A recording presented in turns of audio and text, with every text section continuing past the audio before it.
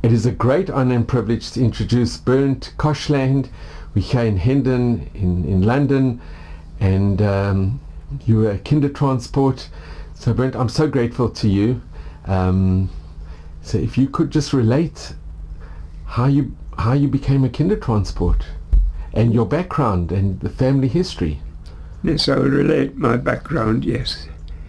I was born in Fürth, which is a town in Bavaria next door to Nuremberg in 1931. Um, and uh, the town of Fürth in which I was born was traditionally called the Jerusalem, the Yerushalayim of southern Germany. It was a very orthodox town, although in the German sense of a Yekka, as distinct from other forms. Uh, my parents, my father was, until the Nazis removed him from his job, was a representative in a for a shoe company, and my mum was my mum, right? And we lived in a flat in the town. Now, life, of course, for an eight year, for a young lad born in 1931 as I grew a little bit older and Hitler came to power, life changed for Jews generally. And there's little I remember of that. I can still picture the brown shirts in the street. Um, and in fact, I have a memory of Hitler himself who was passing in a train either to or from Nuremberg, which is literally next door. Uh, then the next thing really to remember is, apart from childhood memories, which are any child would remember, of course I remember my parents as best as I can. My father was a very Orthodox Jewish Jewish man um, and uh, I learned with him, he taught me to read Hebrew using a method that he invented himself. Then instead of the old-fashioned books teaching you to read Hebrew where you get nonsensical combinations of words like Bagada and Dabadi and all the rest, he used German words in Hebrew letters, which made life much more interesting. And uh, he would use, for example, say, uh, a tet, yud, shin, tish. I would learn those three letters, and a tish is a table. So that was that. Then the next stage in life was the Kristallnacht uh, of which I've got memories of being marched down with my parents, my sister, uh, who died last year and was seven years older than me, Ruth, marched down to the space where we had to assemble. And there we stood while the rampage of the Nazis took place in the town, breaking into houses, shops, and of course, sadly, destroying the schools in the town, which were, in fact, there were four schools in one, I mean, old schools, not steeples, uh, going back, the oldest one going back to 1600 or something, and nothing is left of them. Eventually, women and children were allowed home in the morning. Parents were taken away. Sorry, not parents. Correction. men were taken away and uh, assembled in a building in the town which uh, was donated to the town by a Jewish businessman um, and still stands. In fact, I was there when I visited the town. And the men were taken away to Dachau.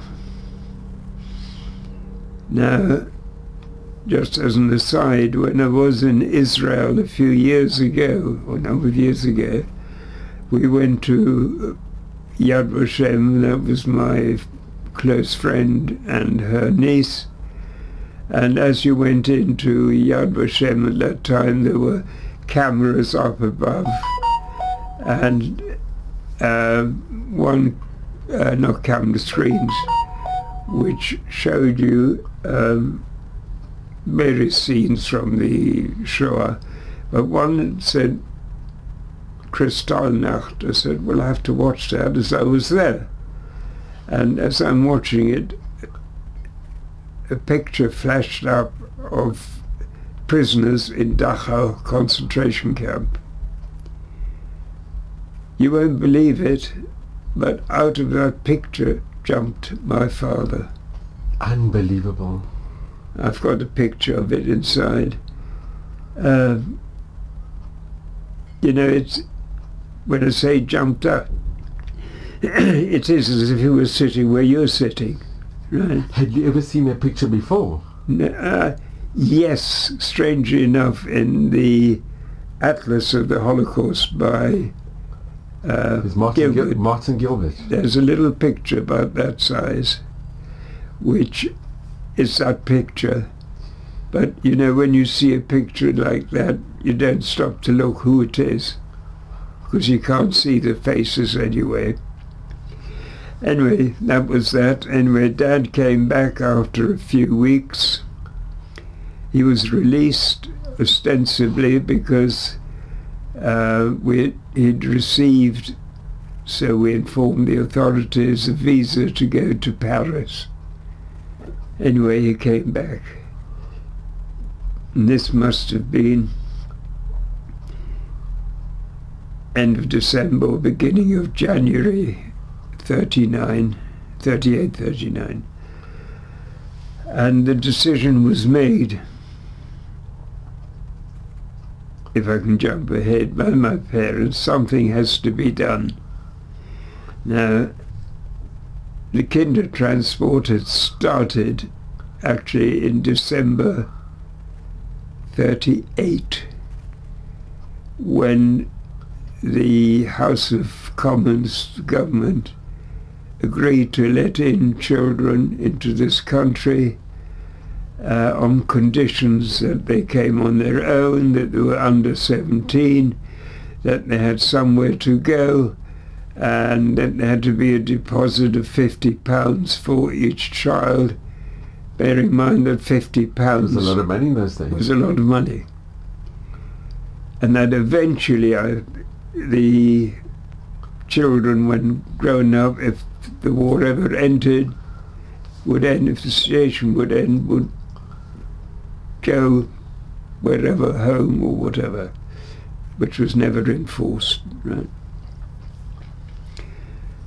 So a relative, distant relative, had apparently, so my sister told me, uh, informed my parents that there was one vacancy on the kinder transport leaving in March if they wanted the place. Now, they decided yes. And that was it. Now, I've got several issues in my own mind. Issues how my parents must have felt to say yes to something like this, to let a child go of eight as I was then, or just, just turned eight, how they must have felt. I know as a parent myself, if I would have to make that decision, I don't know what I would have done. But their decision was we'll send him and with promises. We'll see you as soon as we can, which is, you know, for an eight-year-old, okay, you can't see me next week, maybe in two weeks or in three weeks' time. Uh, we'll promise we'll come and join you. And to make it a bit sweeter, that when your mitzvah comes, we'll buy you a suit with long trousers. Now, for a child at that, at that age, and in, it was, you know, youngsters didn't wear long trousers, they all wore, you know, shorts. Wonderful promise, you know. How I felt, I can't really remember. I suppose for me it looked like being a new venture, or adventures perhaps better, of going somewhere where I'd never been before. I'd been away with my parents. There's in fact a picture here on my left uh, of the four of us on a, our last holiday somewhere nearby. Um, and so the time, time came for departure. Bernard, this is the picture over here. Yeah. I'm just going to...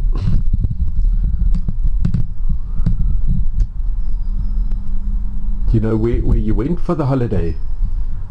I can't remember where it was. It was a holiday somewhere. And in the picture it's your sister and you and your parents. Yeah.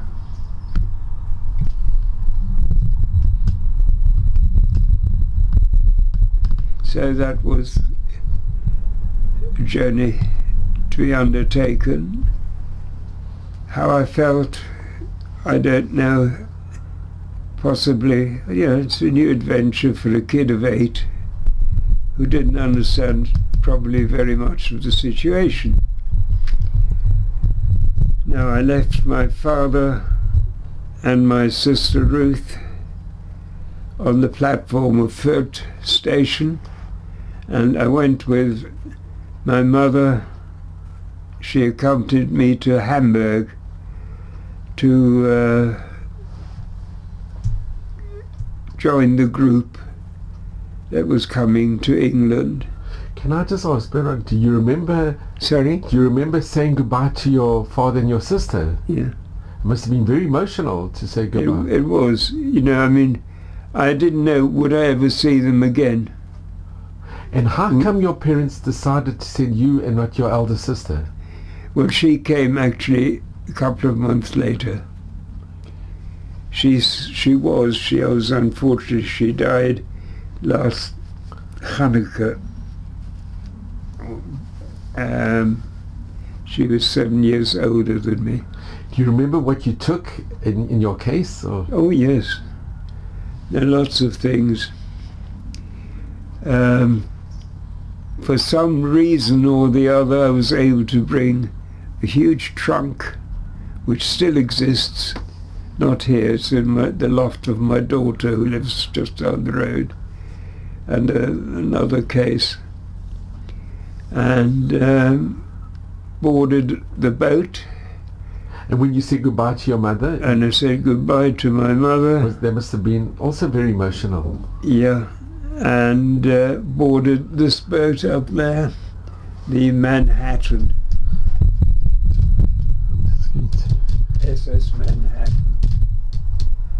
It doesn't exist. It, uh, it was a liner running from Hamburg to New York.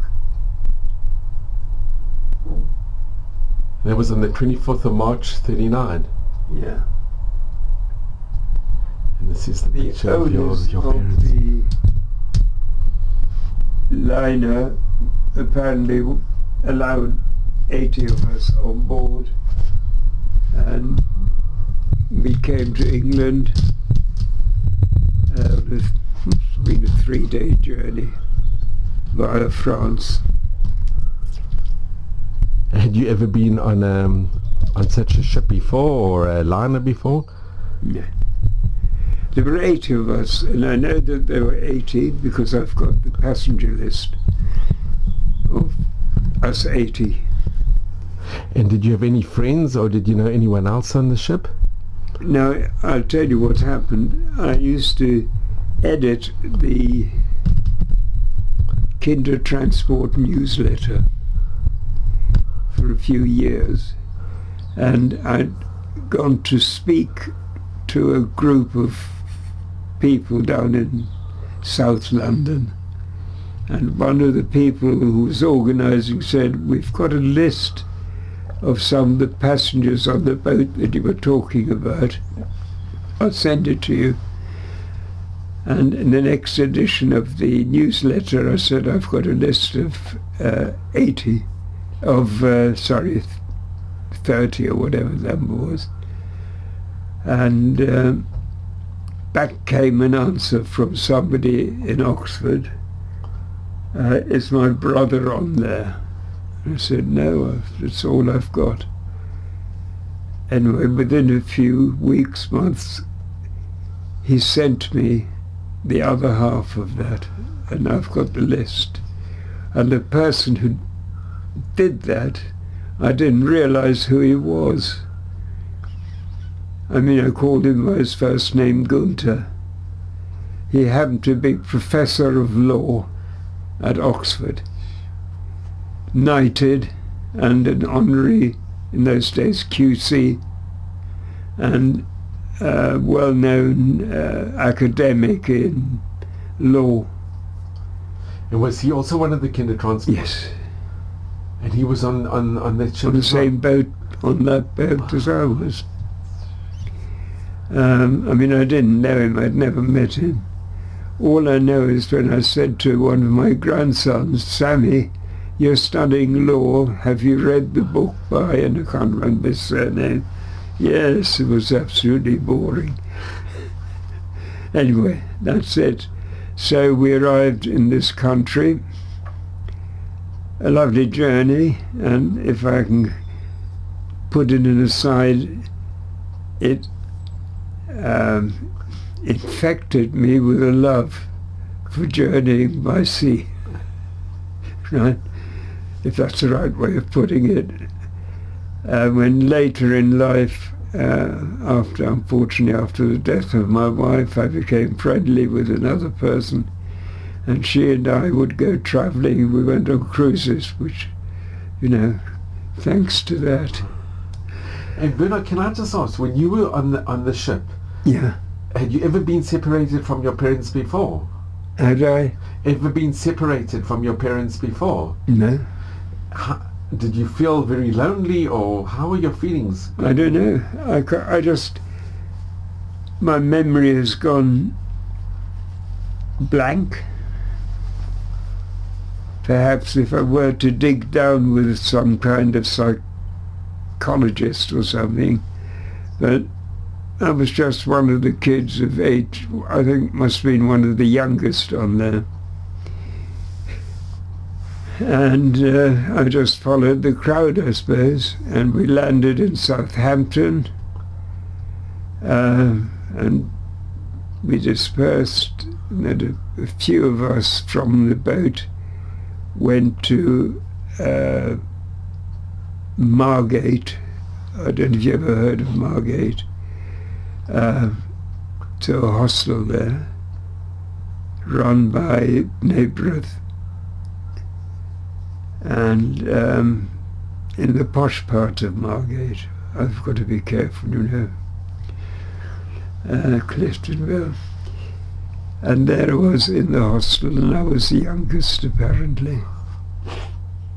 And there I had to settle down, um, learn English. I had no knowledge of English. My parents had taught me a sentence in English. I'm hungry, may I have a piece of bread? I mean, that was my full knowledge of English, which would have got me on a train from London to Birmingham. I don't think. anyway, I learned the language. Um, the one thing that I do want to mention is was a Jewish hostel. It was perhaps more in name than anything else. My father had taught me an awful lot Jewish-wise. And I think once I arrived here, my knowledge went down. Was it? Did they have kosher meals? It was all kosher, I, su- I suppose, yes. And was there any prayers, or did they take you to shul or synagogue? I've no idea, I can't really remember. I just, I was one of the crowd. And the school you went to? Sorry? Was it a public school that you went to? Um, I'd been to school in Fürth already for a year. And the school in Fürth, was that Yeah, a a public Jewish school? A. Jewish school. Yeah. And uh, I arrived in England at the end of March 39. And by October, I'd gone to my first primary school in this country, in Margate, these, I don't know what it was called, St. David's or something. Now, living in the hostel meant acclimatizing myself to a new way of life. And as a kid, I think it's much easier than a 15 year old. Um, and, you know, sort of did things what children do at that age. I learned how to play hopscotch. Very important, you know. You never know, I might have been a hopscotch Olympic champion. That's when we played with the older ones who changed the rules as we went along. Uh, I went to my first cinema in my life, uh, first film, and saw The Wizard of Oz. Uh, whether I understood it or not is another thing. They say it has a Jewish theme. Yeah. As it was. and sort of uh, life started again. Can I ask, Bernard, at school, did you did you get on very well with the other students, the British students? Must have done. And did you ever feel any anti-Semitism at No. school, or No, and did they not, ask? that, not that I recall, because once war was declared, and we had to walk around with our gas masks and identity cards, right, which is a sore subject over here still, for present day, I mean. Um, all I remember learning when the decision was made at government level to evacuate children from various areas and as Margate was on the coast opposite France uh, and if there had been invasion or anything or bombing away from the front line and uh, I was evacuated to a village in the Midlands, not far from Birmingham. Can I just ask you, when you were in Margate, did you get any correspondence from your parents? Sorry, yes, I did, and I should have added that. Um, I got letters, and I suppose I replied, but then some idiot of a friend, if it was a friend, said you can't keep those letters once war was declared. And what did idiot me do? What a pity. Wow. and that was it. I have actually got a copy in here of a postcard that came just a day or two before the outbreak of war that was sent to my sister. So we were in contact until then. And how did your sister leave? Kindertransport. Do you know roughly what date she left? What date now? June, July. And when she came to England, She came, she went to a family. did you have any contact with her? Yes, we had contact. Had contact with the family that she lived with. Uh, in fact, the man uh, whose name was Bernard Gilman arranged my bar mitzvah later on. And I just want to ask you, when you met your sister, you had been separated, and now, how did you meet her? Did, did she come visit you, or did you go visit her? She must have come to me, and I don't know if she ever came to Margate. Um, I think I possibly went to see her. And do you remember that encounter when you when you an encounter that I went I went to stay where she lived. But when that you I saw her, remember. when you saw her, do you remember that? that Oh yes, It must have been extremely emotional when you met her. must have been. Yeah. It was. I, I went there a couple of times to Streatham, which is South London. Um, and then of And you went by yourself because you were you were still very young. You went by yourself to visit her. probably I don't know. All I know is I was there. You know, my memory Yeah. of these details is gone.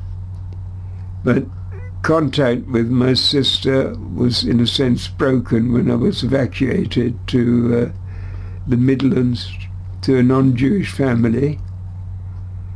Uh, there were eight of us Jewish children in the village. Um, no problems at all about you Jews, you foreigners, you whatever we mixed with the kids locally and it was a lovely village life. Jewish wise, uh, Jewish wise it was not very much in evidence. Uh, we did have somebody who came on a Shabbat to the area because there were several areas where Jewish children were in that area and uh, we'd walk over for kind of service, I don't know, whatever. And that was it. Um, for Pesach, the only one I spent there, um, we were individually issued with a packet of matzot and some margarine, and that was it. So do, you know who helped with the matzahs? Who organ- sorry, Do you know which organization helped? I don't know who did it. Some of the refugee organizations, Nagrith perhaps, I don't know. Did you ever meet with Rabbi Schonfeld? Schonfeld, oh yes, many years later I did. But not during this time. Yeah, but I had no connections with him at all. That um, I don't know who sent it. Jewish Refugees Committee, perhaps. Um, and the other thing I remember, Jewish-wise, not very much. Um, it came to Rosh Hashanah that year, and we stayed away from school, obviously, on the first day. Our decision think of it, eight, nine year olds, ten year olds making a decision. When the master who was in charge of the evacuees of the school with which we were evacuated ca- called us together and said, what's this nonsense about not going to school? If you don't go to school, whatever will happen will happen to you. Well, we had no way of appealing to anybody, and I suppose we went to school on Yontif. I hope the Almighty has forgiven me. Absolutely, sure. But relief came when um, my sister, possibly distant relatives who lived here in Golders Green, um, thought they could find a place for me in a Jewish hostel run by the Munks community of Golders Green, of which you've heard, no doubt, by the late Rav Munk, Zichrona Livracha. Um, they applied and I was accepted and I went to live in the hostel in a place called Tyler's Green, which is down south in Buckinghamshire. And that was a proper Jewish hostel run on German Yiddish lines. Right? I'm not trying to be anti, say anti-Semitic, anti anything else. Uh, I mean, Rav himself was a Yekker. The warden of the hostel, Mr. Bear, and his wife were from Frankfurt, and uh, it's a Yekker, 150% Yekkish. And we eventually had a teacher who also, I think, came frum Hamburg, uh, from Frankfurt. So that was the hostel. It was really from and orthodox. And it renewed my Jewish spirit. And uh, I went to my third primary school in this country. I'd been in the mid Margate in the Midlands and here and went to the uh, my scholarship to the local grammar school, the Royal Grammar School, High Wycombe, and uh, I became very British, you know, and Jewish-wise, everything was according to Kadas and Kadin. Uh, we had to lessons almost every day in Jewish learning. Homework could wait. Shabbos we probably had a double dose. Um, and that was it. And the one thing that I remember clearly from my days in the hostel, and I was now growing up slowly, um, I learned how to take the service as a Baal Tefillah. Um, I learned how to read Kriyas Torah, um, which I did for years afterwards. And, you know, Jewish life was in practice. Right? And at this time, did you still have communication with your parents? No, I'm, I'll come to that. Right?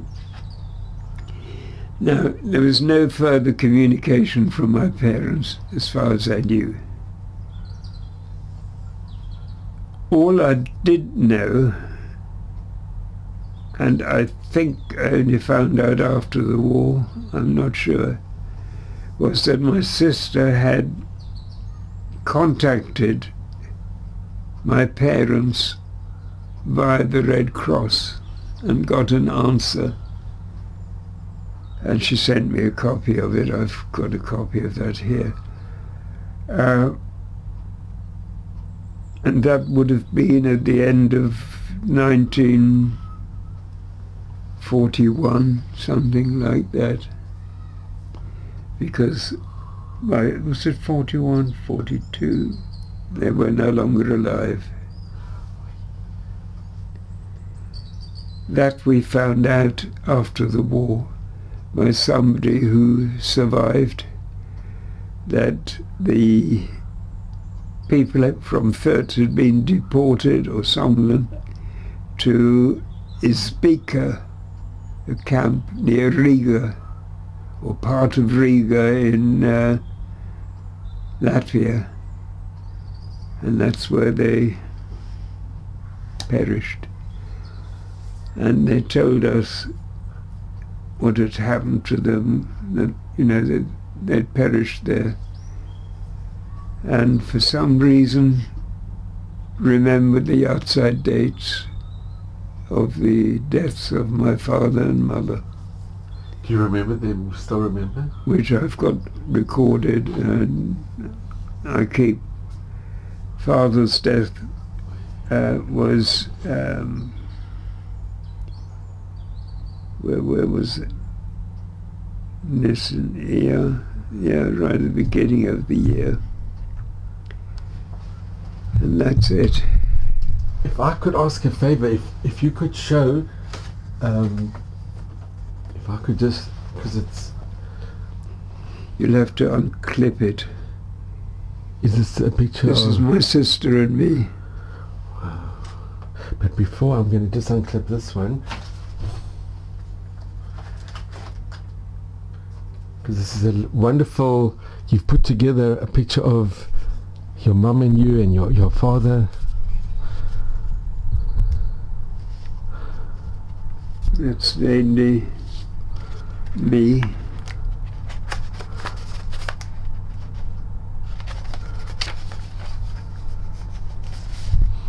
And that's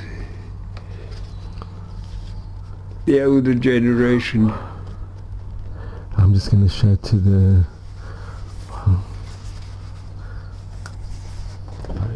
yeah, this is your grandparents, your your father, your grandparents.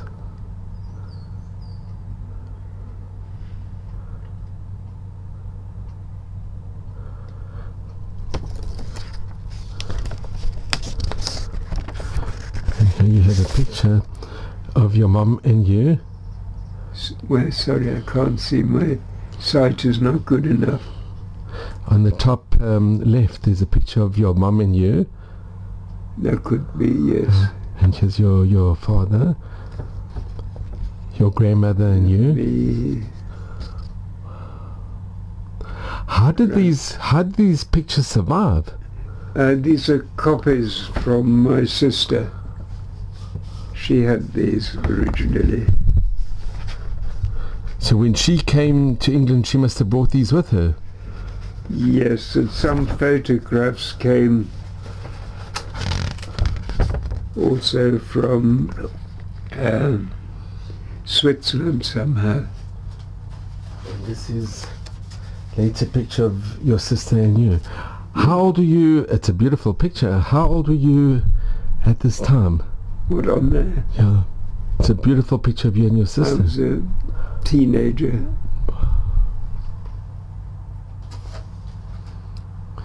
And Bernard, when you heard the news, Sorry? when you heard the news that your parents had um, had been murdered and killed, it must have been devastating. I took it in my stride. I sat the traditional hour shiva, and that was it. And you kept a very close connection with your sister all the years. Yeah, I keep the yahrzeits all the time, of course.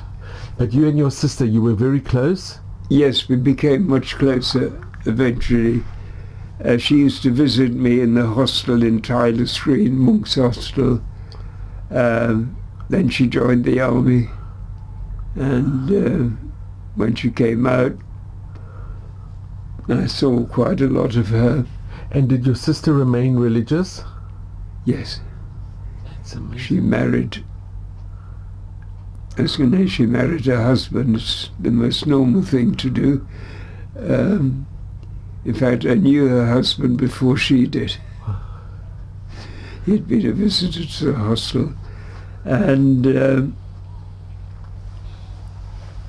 eventually they moved to Canada in 1951 and remained there. Right.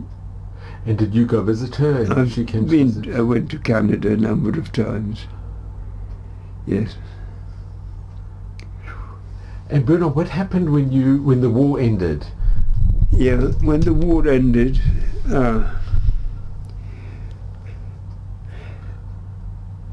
life went on. War ended. The hostel had to move because the premises were derequisitioned or whatever. And we found a place here in North London and I was there in that hostel from 45 till 48. And that's when I first got to know Rabbi Schonfeld, uh, because I used to go to his shul. Um, and I went to school again here in Golders Green. The beginning of, I don't know if you ever heard of the Hasmonean. Well, it started in Golders Green. And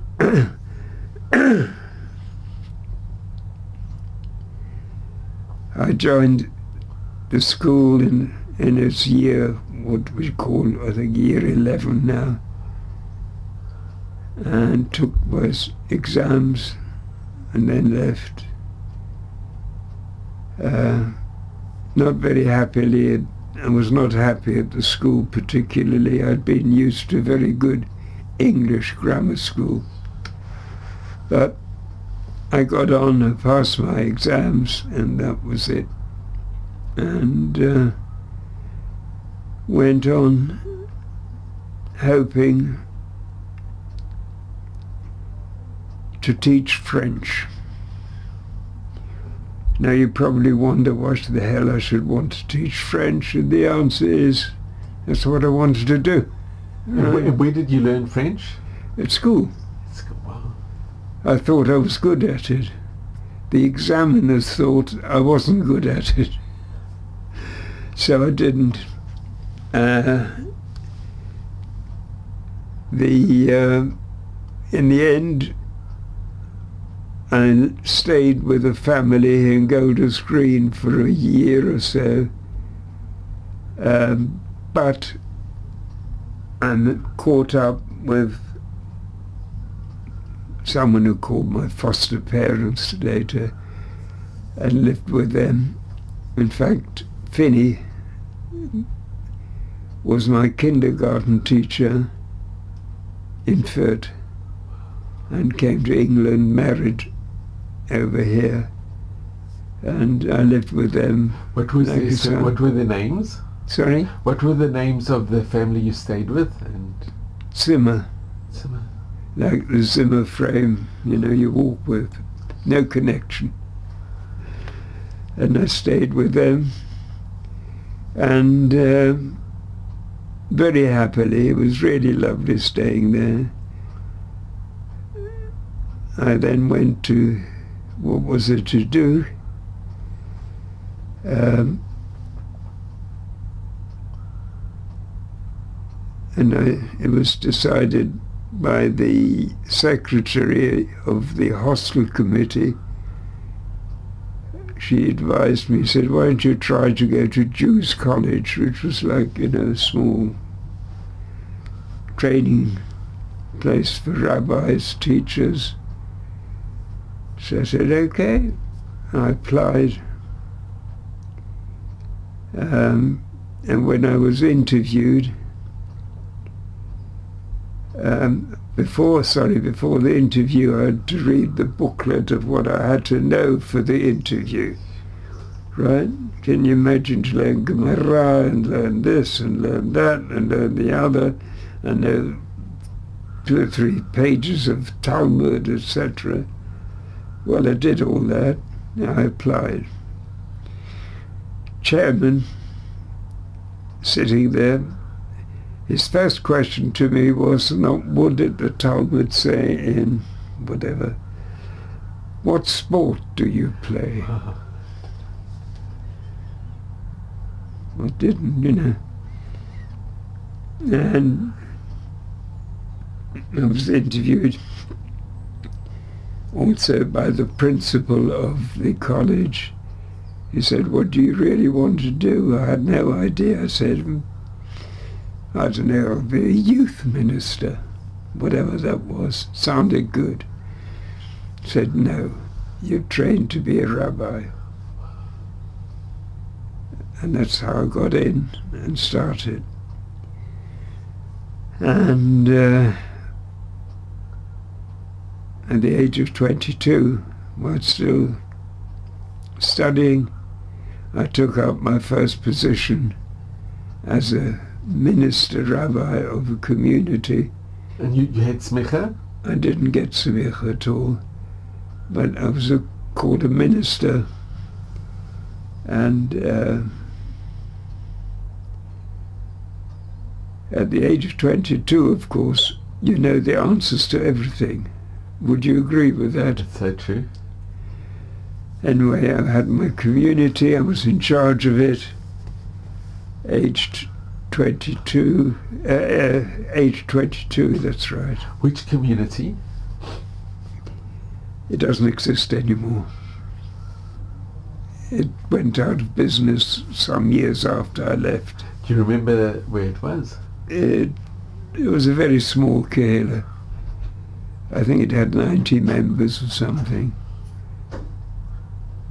And um, I moved on from there after a couple of years elsewhere. So uh, that was it.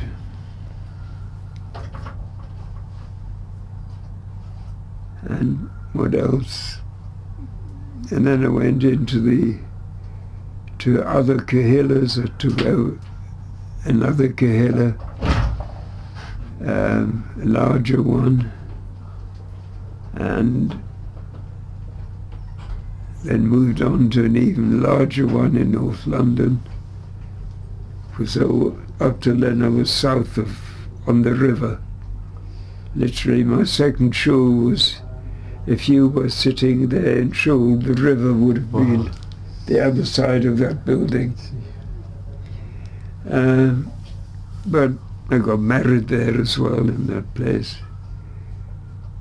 And uh, eventually I got out of ministry and went into teaching happily, what I'd always really wanted to do. Never mind about teaching French. What did you teach?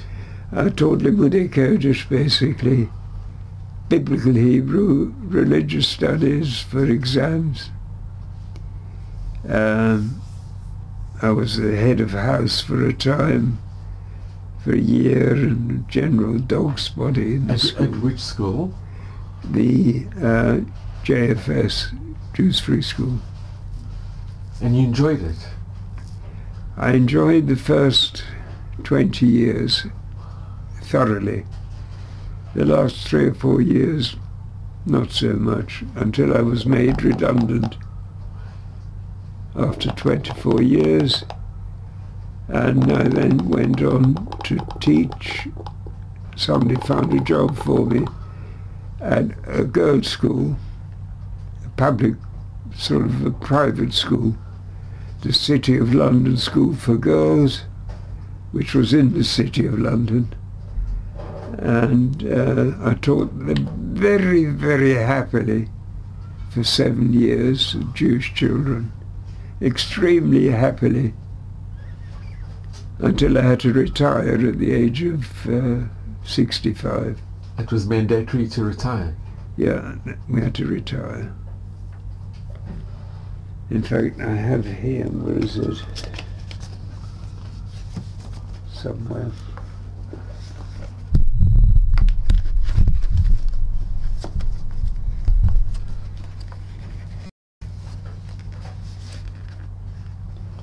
Where is it? I don't know. Yeah. And when did you keep your connection with Munchul? No, I never had any connection with Mosul, no. Because once I was in London, firstly I went to North, no, in North London, there I went to Schonfeld's, Adas, or a minion around there. Um, when I moved to Golders Green, I went to Stieblach, which wasn't my scene at all. And then when I moved further again to my foster parents in North London, I went back to the to a minion, and then it all stopped. The what is interesting, and I should mention that, I've got the archives of the hostel that I was in, all the records, which um, came to me when the daughter of our secretary of the hostel who passed away, Sissy Rosenfeld had passed away. and they were clearing her goods. They found all the archives, and the daughter rang me and said, would you like them? And I said, of course.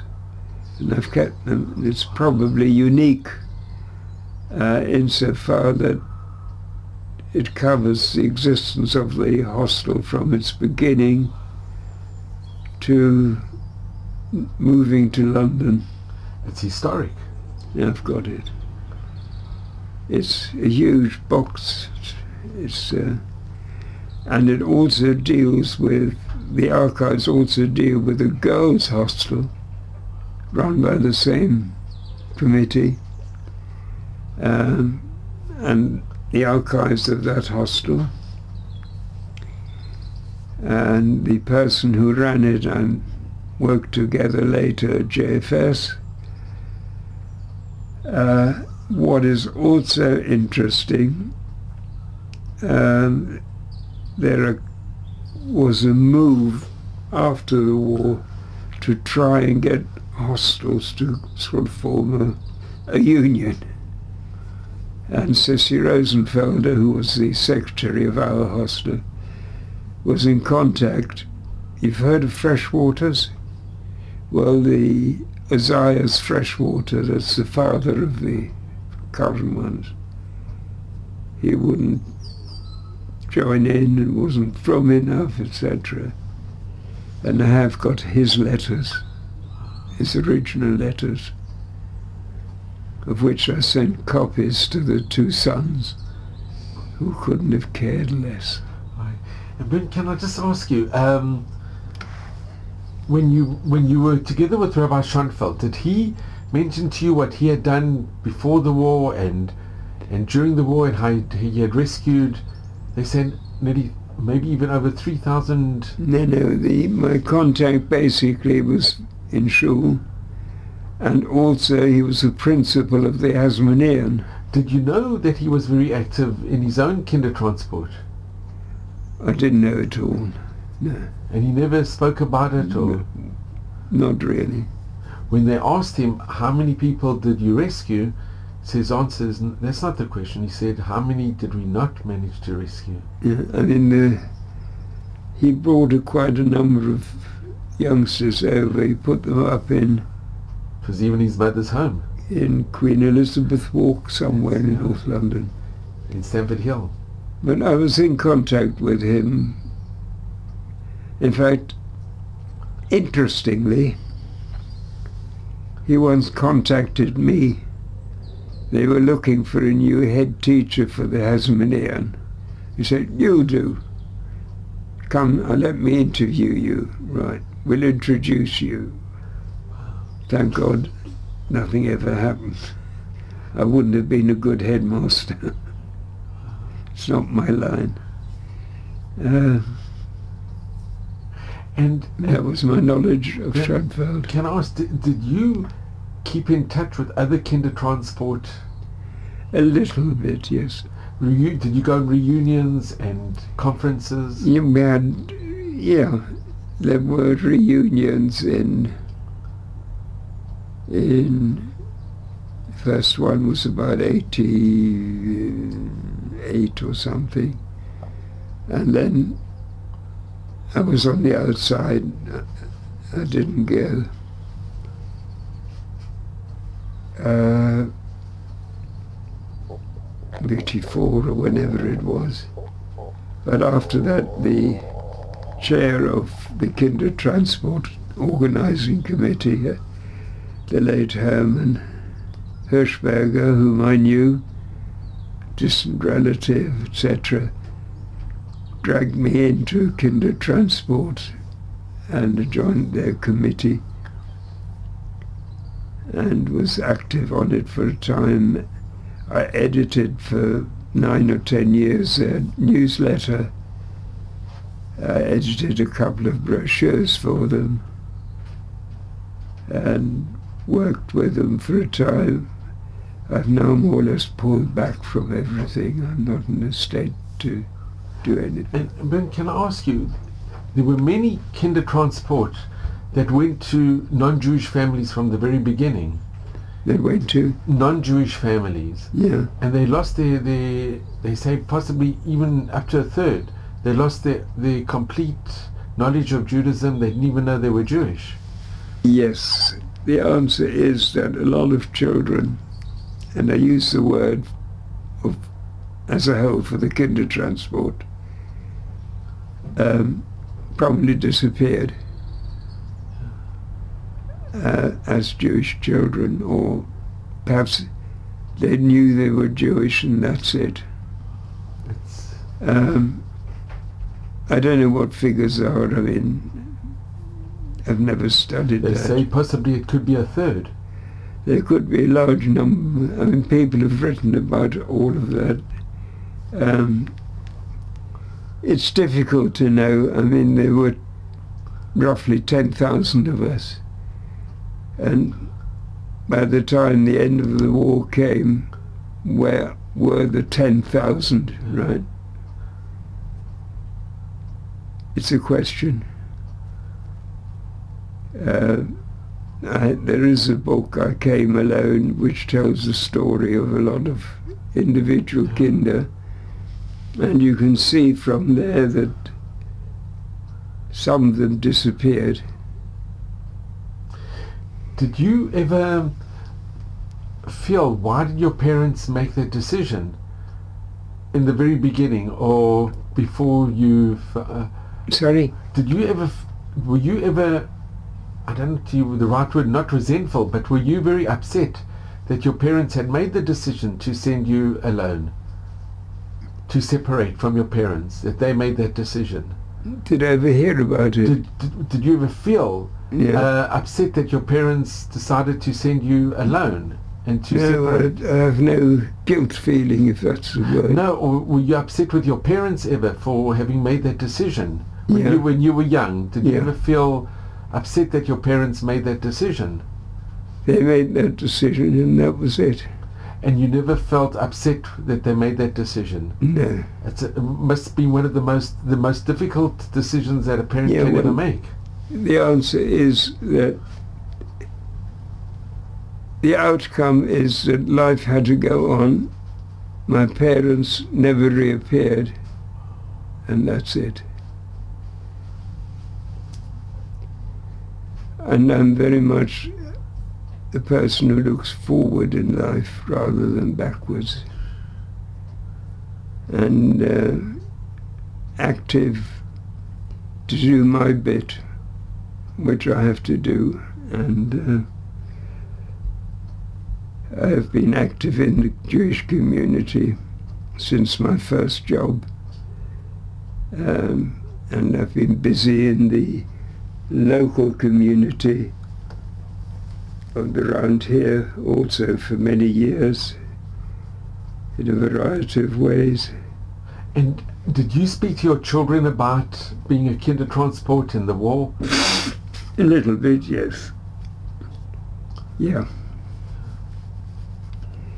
Um, I gave a talk on my visit to my hometown, uh, and they heard a lot about it. Beth heard, my daughter heard about it. My son came with me to my hometown, and he learned some of my background that way. And uh, that's it. There's this question of how do the second and third generation react. I tested Beth, that's my daughter, on this and she said, there's no trauma there. Right? Because maybe it's the way that you imparted your Yeah. your history and your knowledge to your yeah, children. Yeah, yeah. There's no trauma. And when you went back to, to Germany, was Yes. it a very emotional to go back? And do you remember from your childhood memories the town? The answer to that is, for many years, I didn't want to go back, didn't want to know anything. But by some way I got an invitation to visit my hometown. I took it up and went back. And it sort of cured me, and I've been back to Germany two or three times. And if I can just ask you, what what message do you impart to your children and grandchildren and to the future generations? What What message, do you- message? do you give other? The answer is yes, and I've said this over and over again. Each person has a little peckle on his back, whatever. Yeah. Uh, my particular peckle on the back was what happened to me, right? But that's on my back just to remind me. But you have to build for the future. Uh, what I did was when um, I can show you this here. Please, yeah.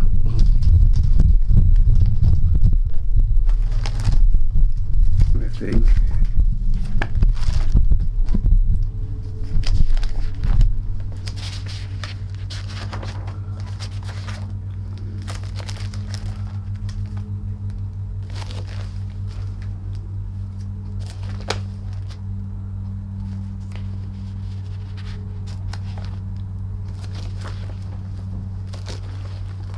Yes. You see, I used to show this to children that I taught. Spoke about it. We must make this world A, and they have to fill in what these dots would be. Oh, A better place, and that this should never happen again. oh. That's so true. And that is the message that I always give when I talk. You know, one can talk about the past, but we've got to talk about the future. present. Can I ask, you always remained your emunah, your faith, you, did you always keep your emunah, your faith? I keep saying, Did you always keep your faith, your emunah, your, yeah, your belief, you always kept, even having heard about your parents being murdered? yes, I, my belief is there all the time. It may not be as strong as my father would have liked it, but it's there. That's wonderful. I just want to thank you. I'm going to just come in. Um, if I can just thank you. I'm going to just put this uh, aside. I'll just put this over here. Right. Shall I hold that for you? If you could. So this was on your 90th birthday.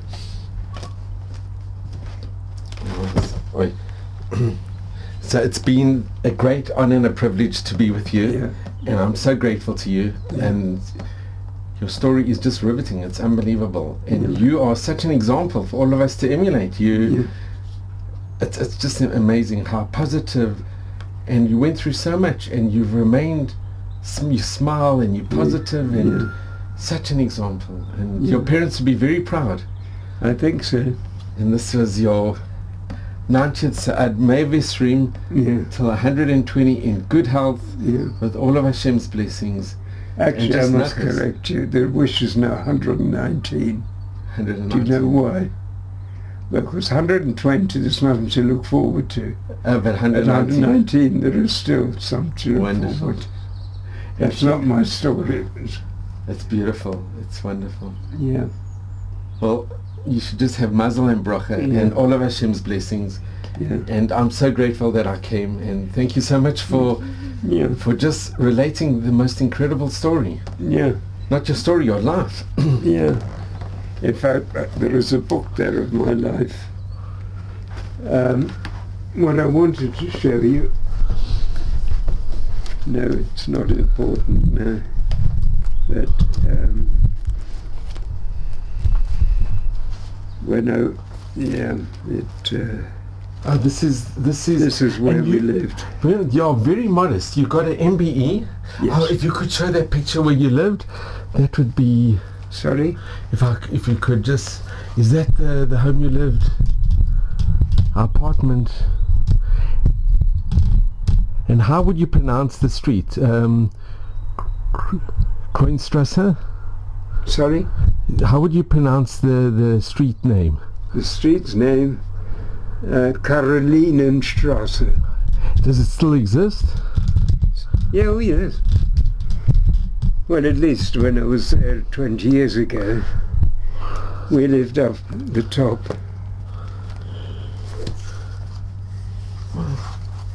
So this, uh, um, this is so wonderful. It's um, my story by Bernd Koschland MBE. Yeah.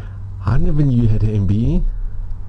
Yeah. Or if you could just show, possibly if you could just page through, because you've got such beautiful pictures inside the book. Yeah. Yeah, there. I mean, some of those pictures you've seen, so,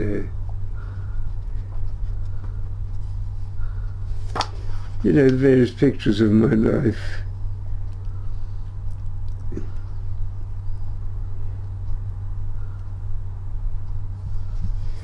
And if you want to start anything, we Koschlands are fighters. Hmm. Three brothers. And they were in, in the German army. Yeah, West World War One. Dad, uncle, uncle. And he had the Iron Cross. Iron Cross. I don't know what for, but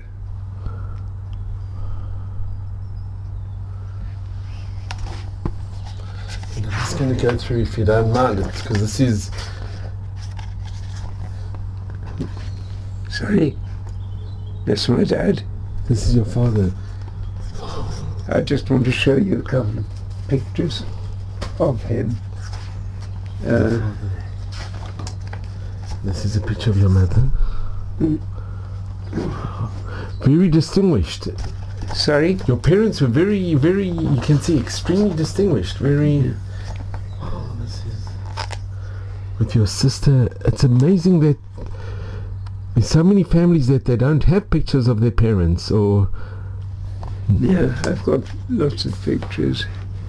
Now, what I wanted to show you was something else, Your mother. just to show you that we Koschlands are a fighting force. This was your last holiday. That's the picture that we had before. And with your mother and your sister. Your, your mother and your sister.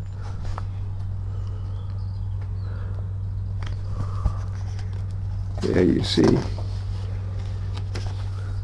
There's the, the fighting Koschlands. The left is my dad in uniform, and on the right is my sister in the British Army in World War Two. It's amazing.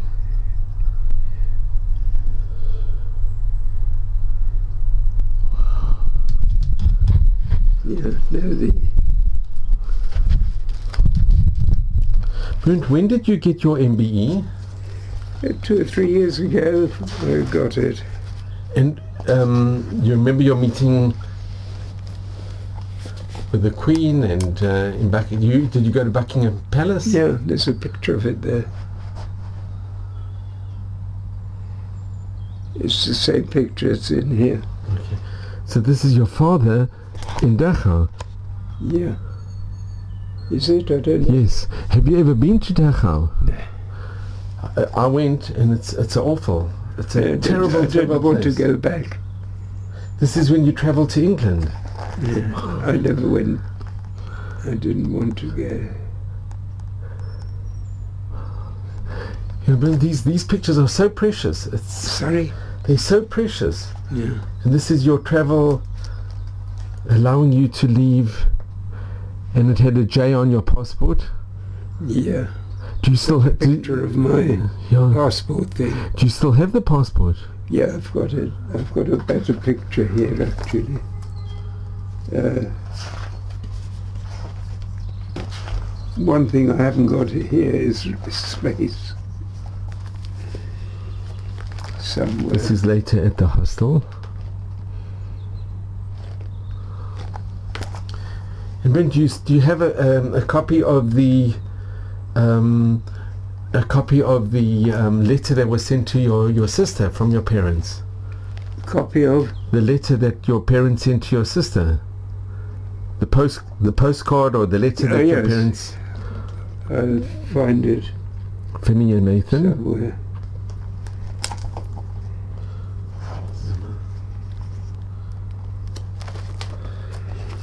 This picture, which has nothing to do with me personally,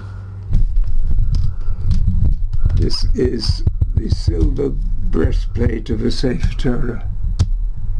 Uh, we were taken to the Jewish Museum, to the Israel Museum by one of the guides who we knew, and said this crunched silver was found in the knapsack of a Jewish, of a German soldier. So, got a picture of that. This is you hiking in 1952. Was Henry Fisher also kinder transport? Who? Henry Fisher. But he was a close friend. He was a friend, yeah. And this is when you were a... Did they ever call you Reverend? Yeah, they still do.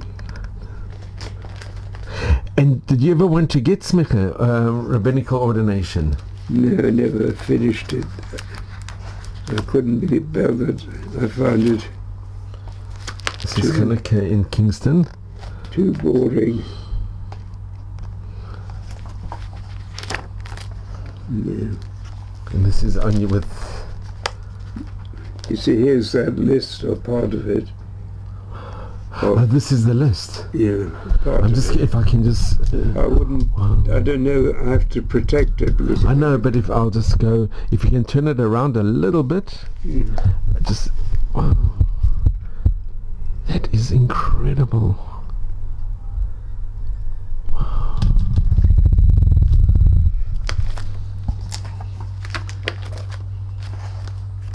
And I think you had from the Red Cross. Sorry? I think you had... Uh, this is your passport. There's my passport, or a copy of it, a forgery. I don't show the original because I treasure that, Yeah. so I made a copy of it.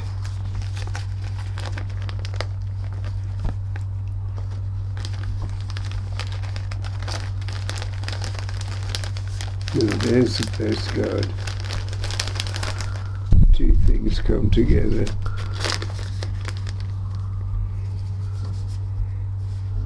That is our last postcard.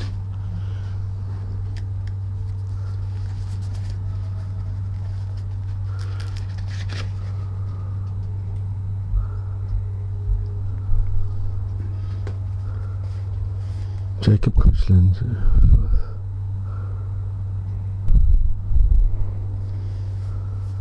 That's from your parents, dated the 29th of August 1939.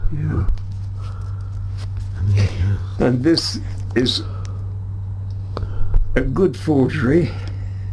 It's a copy, a I made a copy of it.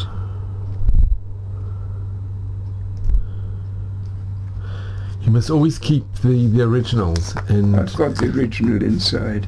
and to hand, and keep it within the family.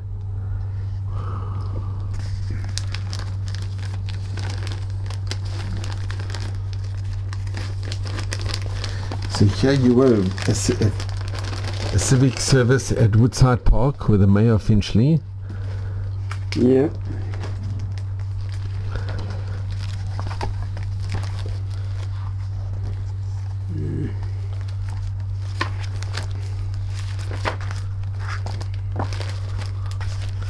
Oh, and this is when you were at the JFS.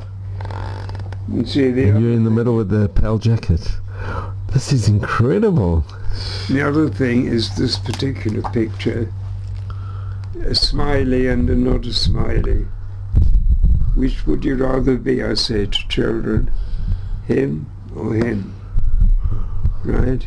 But you know, there's a, a kindertransport in, in Yerushalayim Yeah. who's a patient of mine, and she of, often says to me, when I look at a glass, I don't see it as half empty, I see it as half full. And I think that's what you epitomize. You, Sorry?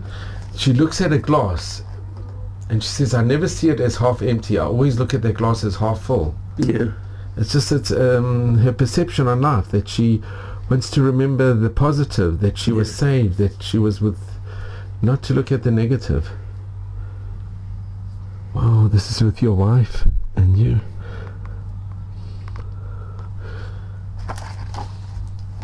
This will just be a minute. That's This is very special. No, I just have to. This is on Holocaust Memorial Day. And when you invited to give talks, you give talks I give. I've given a lot of talks. And this is the mayor of Barnet. Excuse me a second. Hello. I'm all right. I'm fine. How are you? Yep, I've just got a lovely visitor here. Yeah. Oh, this is And what about you? in Bell Lane School. What are you doing? I can hear you, yes. This is your first day at school in Germany It's not very clear. with a big cone of sweets. Can you hear me? Yeah? Yeah, everything's okay. Now I can hear you bet I can hear you better now. Yeah, everything's fine. And receiving the MBE from Prince Okay, William. sweetheart. Yeah. Bye. Bernd, can I just ask you, because this is very special, when you received your M- when you received your MBE from Prince William, um, was it? Uh, it's a combination of recognition of what you went through, and No, it was for my teaching of the Holocaust to children Mhm. and so on. Have you ever seen an MBE? Well, let's show you. We'll show you one. Yes, with your with Johnny and Beth. Wow, that's very special. You had very special parents. Very. Oh. If we can, you have your MBE. I've got it outside. Okay. Yeah. That would be wonderful. Carlos, I'm just coming outside. Outside. No, not outside. I'm just going out. I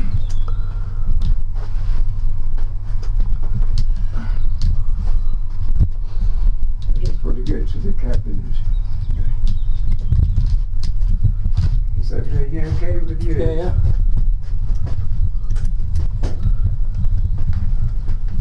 Okay.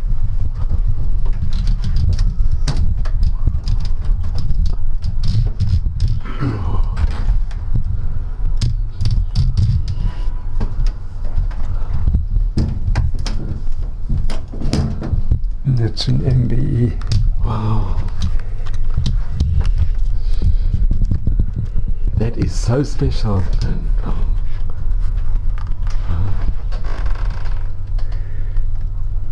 That that is just amazing. And you can see on the other side. There's nothing, that's That's where it's made, but this is the MB. It's the MBE. That must must have been a very proud moment in your life. It was. If ever there was somebody deserving, Sorry? if ever there was somebody deserving, Prince, it's really you. Well, Oh. Well, I'm so glad, and thank you so much. it's okay. Oh, man, thank you very much. And you have, from Lord Jakobovits. I'm sure you knew a lot of the chief rabbis. Wow, I mean, I've never really taken it out and put it on, Wow. but uh, that's very special.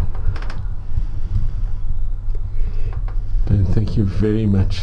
And this is Jews College, sorry, University of London. back. you got Khan, Khatan Torah from the Hendon United Synagogue. And from the Mayor of London.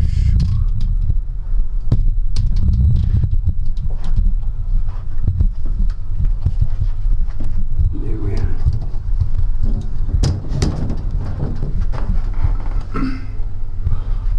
And if I could just ask you, you have from Lord Jakobovits, from a memorial Sefer Torah. Yeah. Yeah, really good. It's over there. Uh, A Civic Award, wow.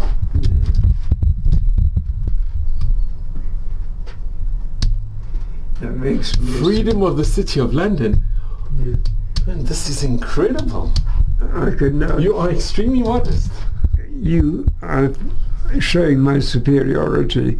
You cannot take sheep across London Bridge without paying for it. I can go free. It's amazing to have freedom of the City of London. And this I'm very proud of, particularly. Civic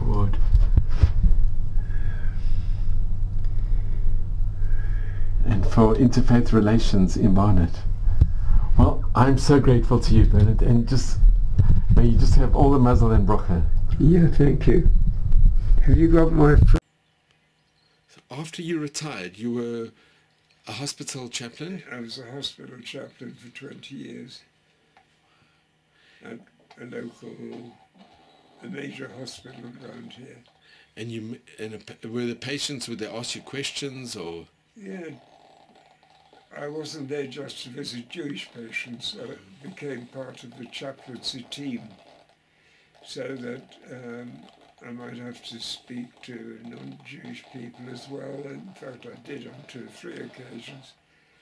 And um I, when I say I enjoyed being a chaplain, I- Yeah. the job rather than the patients. But this one particular patient, I could tell from uh, the way she spoke that she wasn't born in this country. I said, where are you from? And she said, I'm from wherever it was. I, I survived from whatever camp, I can't remember now. She said, I'm a survivor. I said, I'm also a survivor. She said, how so? So I told her I came in the kinder transport. She said to me, you are not a survivor, you are a refugee. No, you were a survivor. But we're survivor. I survived because I wasn't there for what happened. For sure. Right? I, I liken it, for example, there's a burning building. Uh, people are killed in it, but you're not there because you've gone to the local pub, right?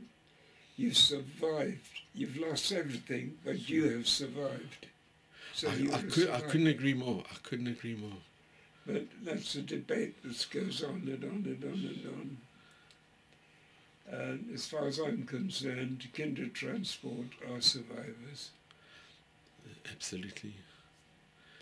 Bernard, you, you are, your whole outlook is so